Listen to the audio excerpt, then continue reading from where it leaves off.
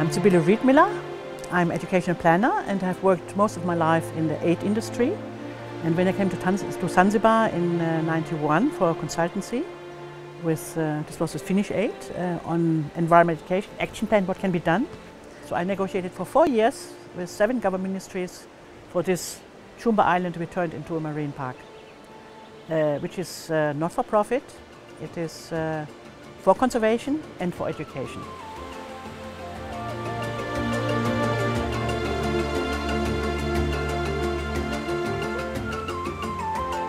Since education program has started here, uh, more than 7,000 uh, people has reached on island through the education program. And this is very important because for the school education trip, uh, we prepare these kids to be the future you know, conservationists, future fishermen, and the future people who will look after their resources. Education has been the backbone of the, of the project from the very beginning. I'm an educationist, so that's the, the main motivation why I did it.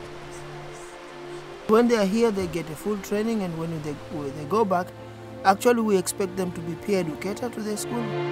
The main objective of Chumbe is for protection of coral reefs. Uh-huh. Yeah, I have a message for those tourists. Uh, First, uh, I tell them they are warmly welcome to Chumbe Island because uh, we have a unique thing which available in Chumbe. Is only Chumbe which able to do environmental conservation in a 100%. Nothing else. If they want to prove it, welcome to Chumbe. We'll prove it.